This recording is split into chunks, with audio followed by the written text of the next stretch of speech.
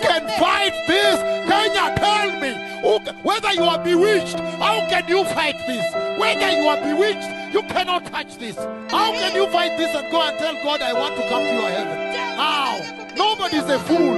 Even if you are bewitched, you cannot. You just come for healing. Doctors had given up. Lord is saying that the people whom he takes the tribulation and he are the people that attempt to rubbish these types of wonders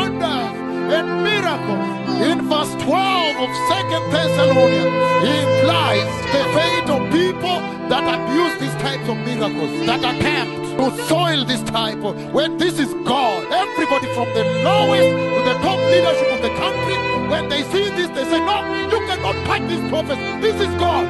There are treasure here. Hallelujah. From one degree. And they went to all hospitals. And they went to all prayers and churches. And they sold land and gave wakora, gave preachers who said, So is he. Of charge. How can you touch this?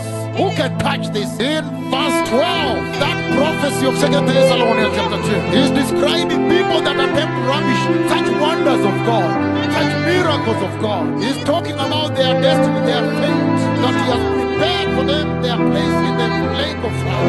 Look at this blessed people who, in their